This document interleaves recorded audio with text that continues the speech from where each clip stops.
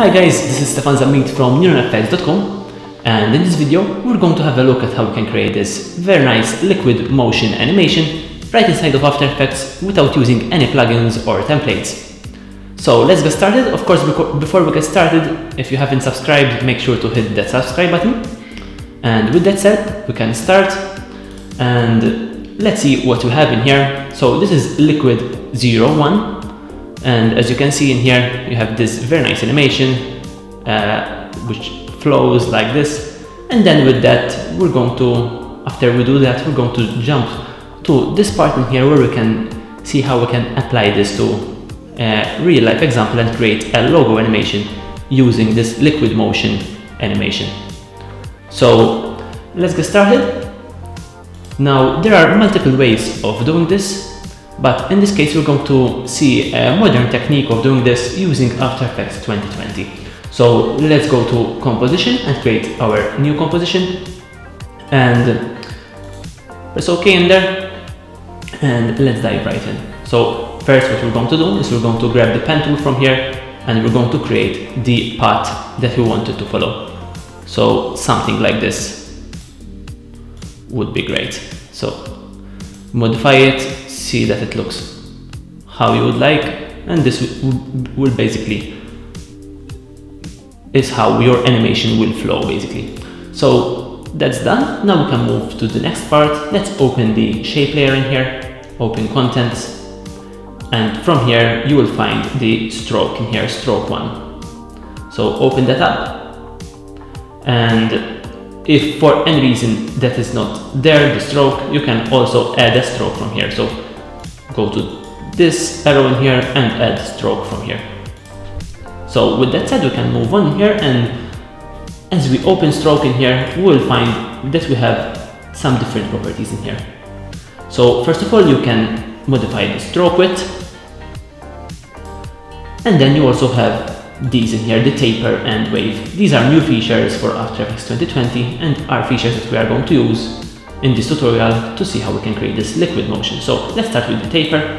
And what taper does is basically it can taper the edges of this so that it's not like a straight line in here. And we will see in a second in here. So if we go to start length and increase the percentage, as you can see, that will create a pointy tail in here, just like that, very, very nice. So I'm going to add a little bit of end length as well, so that the end is as well a little bit pointy. Then you have the option to modify the start width in here, but in this case, I'm just going to modify the start ease and end ease. So let's see, with the start ease, in this case, the start ease I'm going to leave it 0%, but the end ease I'm going to increase it a little bit so that it is rounded as you can see. And as you can see, you have the general shape already done in there. Now what we're going to do is we're going to go to the next step, which is the wave. And this is also a new feature in here. And in here, we can increase the amount and immediately you'll notice what it does. It basically creates a wave pattern right over your, your stroke. So now we're going to increase the wavelength so that it is quite long as you can see. Perfect. And what we can do is animate the phase. So I'm going to keyframe this, go to around one second and make it revolve by minus two whole revolutions in here. And as you can see now you have that animation going on in there. Very nice. So with that done we can jump on to the actual animating of the of this this line here. So let's go to add in here and from here let's add a trim paths modifier in here so that is our trim paths and with this we can basically animate this along this, this line. So I'm going as you can see to see what these do. So just modify this, the start and end and see which one you need to modify. So in this case, it is the end that I want to modify and we can start that from zero and end at 100. So let's go to zero seconds, click the stopwatch, go to one second and make the 200%. as you can see. And if we hit zero to ramp preview it, you can see that it is flowing right along that path. Perfect. So I'm also going to edit this start in here, keyframe it. So let's keyframe that from zero to 100 so that we will bring that to an end as well. And as you can see now, it is flowing along a pattern there, very, very nice. Now, you can play with this so that it is the length that you want it in. And that's basically done. Perfect. And our animation is basically done. Now what we can do as well is we can add a little bit more detail in here. And to do that I'm going to add in a new effect named Turbulent Displace. So from effects and presets in here, type in Turbulent in here and you'll find Turbulent Displace and simply drag and drop it over that shape layer, just like that. Now you can increase the amount in here as you can see to increase that turbulence and decrease maybe the size just like that and play with it until you have something that you like. I'm not going to add a lot of this so something like 20 would be good. Just giving it a little bit more more animation in there. Perfect. And then we can keyframe the evolution. So put a stopwatch at 0 seconds and at the end of this I'm going to make that 2 minus 1 so that everything flows in there I'm going to find the wave keyframe that I have done earlier and move it to the end in here so that it is exactly at the end of this. And then what I'm going to do is I'm going to hit U on my keyboard to bring all of the keyframes in here. Select all the end keyframes just like that.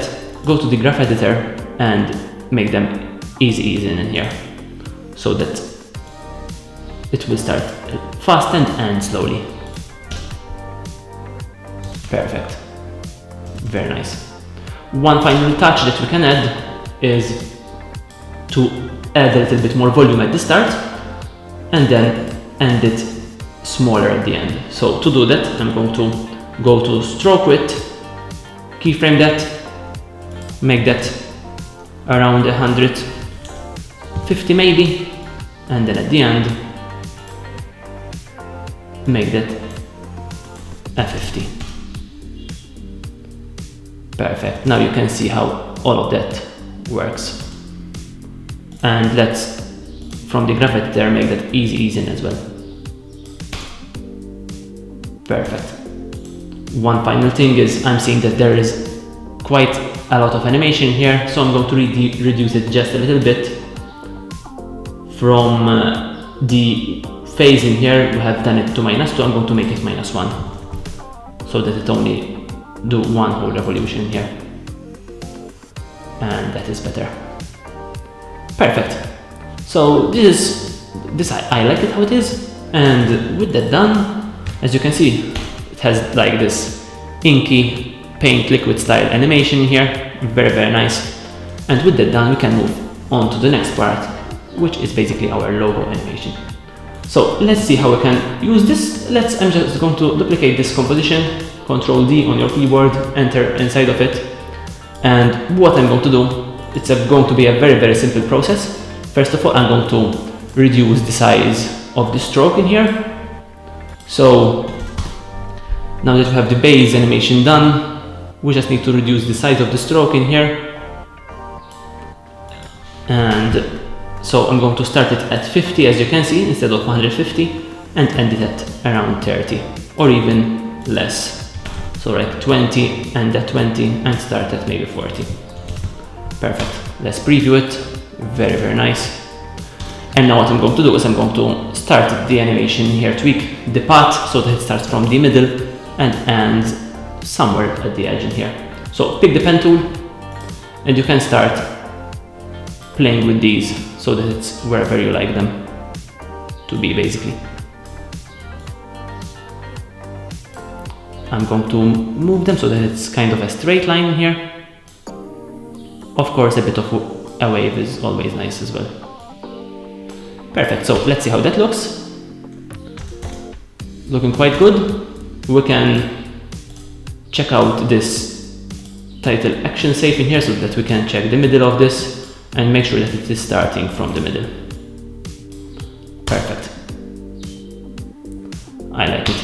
Now what I'm seeing is it is a bit slow for my logo for, for what I'm going to do. So I'm going to pick all those keyframes, make sure of course to hit U on your keyboard. So hit U once in here, it will show all your keyframes. Pick all those keyframes. I'm going to go to the last of these keyframes, hold Alt on my keyboard and simply drag. And with this you can, as you can see, tweak the speed of all those keyframes once. This is a Great technique for you to tweak, to retime your keyframes at the end. Perfect. And I'm seeing that it's it is a little bit too long as well, staying a little bit too long. So this start one in here, I'm going to push forward so that it's shorter, as you can see. Perfect. So I love that. Let's now start and simply duplicate this. So Control D, and now it's just a matter of adding more of these and pushing them where, where you want. Just keep the middle as it is, and don't be afraid to make these random, since that's what we're going after.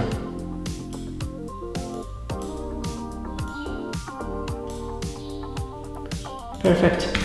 Let's add a few more.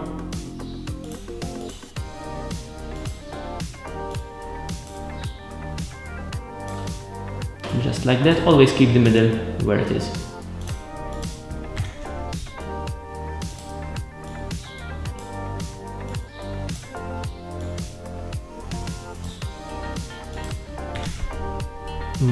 add one right over here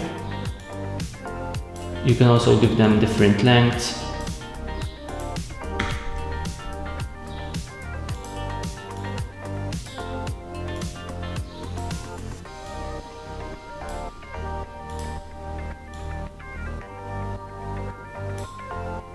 and let's see how this looks.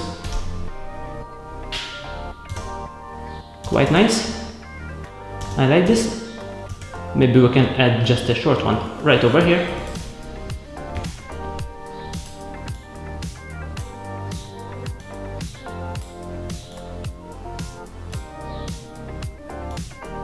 Just like this. Perfect and that's basically done. So what I'm going to do now is I'm going to give them different colors. So just pick this stroke in here and change the color of these.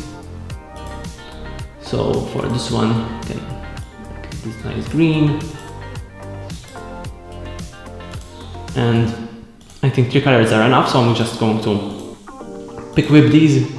That is good how it is, that's good. Let's pick whip this one okay and we can make this green perfect let's preview this. Hit zero on your keyboard. Very nice. Something else that we can do is we can modify slightly the size of each one of these so that they are a little bit different. So let's hit U on our keyboard for the first one here. And if you go to the stroke, make sure that you are on the keyframe in here. And I'm going to reduce this for instance, so that it's a little bit smaller. Go to the next one. Let's increase that to something like 80. Nice. Let's go to another one. And let's make it 100, start off at 100. And last one let's see u and I'm going to start that off at like 60 so perfect. Let's see how that looks. Very nice. So now we can add our logo. So let's bring in our logo. So this is our logo. I'm going to scale it down so that it is right in the middle right over there. And I'm simply going to add a quick animation here on this scale. So I would like that to be right over there at the size that I want it and start at zero. Just like that. Of course we need to retime this a bit with the graph editor. Let's hit the easy ease in button. See how that looks? Perfect. And one small trick that we can do in here, we can go to the middle of this and as you can see the end is a 9% and if we go to the middle we can make it like 11 so that like that we get get this kind of nice bounce. Very nice. So I like it how it is. Just a few final touches. We can add a background in here with so let's go to new solid and add a background. Make sure that it, it is at the bottom of this. And we, we can add a gradient to that background. So let's go to gradient ramp drag and drop. And I'm going to give it dark colors in here. Just so I have a little bit of texture in there. And of course you can move these points like that.